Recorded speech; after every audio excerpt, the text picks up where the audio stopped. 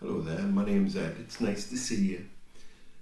I'm doing a series now on how to prophesy, and today we're going to think about what it means when we say, God spoke to me.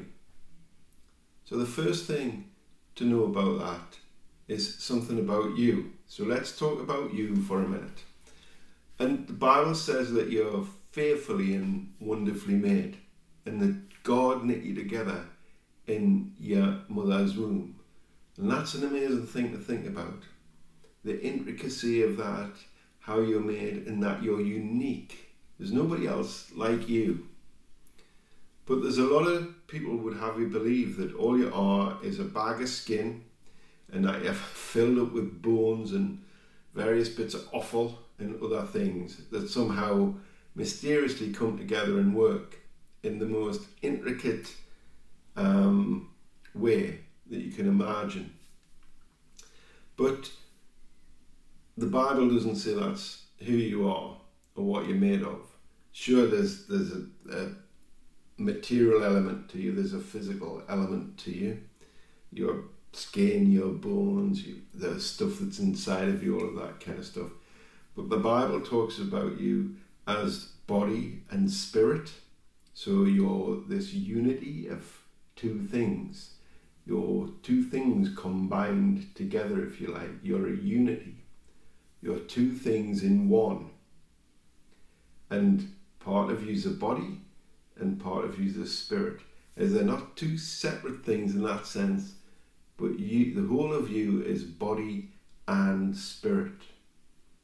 And that's a really important thing to understand when we start to look at things like what does it mean when we say God spoke to me.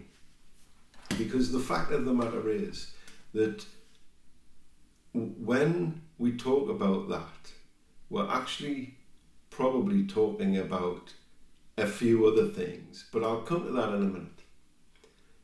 For your part, your we start off all of us, our spirits are dead to God. And you'll have heard this already, especially if you're a Christian, you'll have heard the idea of being born again. That's because all that means is that the spiritual part of you is dead to God. All right? And then what happens is you become alive to God, that spiritual part of you. But it's not that that spiritual part of you is, is in some good place and your body's in some bad place because you are one being made of those two things. So it affects the whole of you. So what happens in your spirit affects your mind and your body and all of those kinds of things. So it's not that your spirit is good and that your body is bad.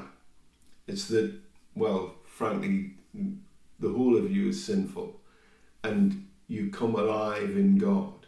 He makes you an entirely new creation. But the body part comes later, and we'll talk about that on some other occasion, I'm sure. But right now, I just want to talk about the spiritual part of you, which comes alive. And I'm going to tell you about the first time, and this is guaranteed, right? And you're going to say, How does he know this? The first time God ever spoke to you. I'm going to tell you when that was. You might not even know yourself. But before I do, let me just tell you something about what we actually mean when we say, God spoke to me because we don't mean God spoke to me like I'm speaking to you now. We mean some other things, probably. Things like um, God made something come alive inside of me, or God gave evidence of his being, or God made me aware of his manifest presence, or the Holy Spirit revealed something of God to me. And that's why it's important to know that your body and spirit, because the Holy Spirit, sure, the Holy Spirit can act on the physical part of you, but in the main, the Holy Spirit acts on the spiritual part of you, which then affects your mind and your emotions and all of those kinds of things. So, those are kind of just four examples of what we mean when we use the shorthand phrase of God spoke to me. Now, I said to you that I would tell you without fail, guaranteed, the first time God ever spoke to you. And it's because it says in the Bible that it talks about you coming alive, it talks about you being born again. Now, you didn't choose to be born into this world, none of us did. We were just born in the world, it was absolutely nothing to do with you. That's true, isn't it? Similarly, spiritually, it's absolutely nothing to do with you either. And you say, well, hang on a second, I made a choice and that kind of thing. But the fact of the matter is, there's this thing called regeneration.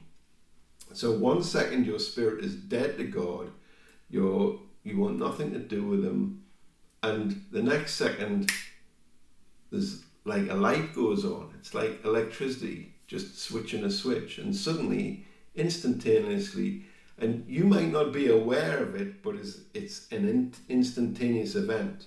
Some people have called it like you could be crossing the border in a train at night and you wouldn't know exactly when you crossed the border, but there was a point at which you crossed the border. And for other people, it's like a crisis in their life or a big thing that happens, and they're really, really aware of the point at which God, if you like, put his finger in their heart and brought them back to life spiritually. So that's what happens. And the first time ever that God spoke to you was when you first became a Christian. Because you couldn't become a Christian unless God took action himself. You can't get yourself from being a not, not a Christian to being saved and in a position of having eternal life simply because it is God that has to do that. Now, yes, those two things are very, very closely linked. In fact, it's probably milliseconds between the point of God enabling you to have faith by touching your spirit with His spirit, if you like, by touching your heart with His heart. And that point, you come alive to God and you're enabled to hear from Him. He speaks to you in the shorthand, He makes you aware of His manifest presence or the Holy Spirit reveals something to you. So, the first time the Holy Spirit ever revealed something to you, if you're a Christian, was that time when you were hearing the gospel and you became alive to God. And you said, I believe that, and your life changed from that point on. That's what we mean when we say God spoke to us, or it's one of the things. So, what I'm going to be doing in the next weeks and weeks and weeks and weeks is talking about how to prophesy. But in the next couple of goes, I'm going to be talking about those different ways that when we say what it means when we say God spoke to me, I'm going to be looking at what those actually are. Because it's one of those things that just trips off the tongue. But maybe it shouldn't. Maybe we should know a little bit more about that, especially when we're talking to other people. Because obviously, if you talk to non Christians about it and say, well, God spoke to me, they think you're nuts.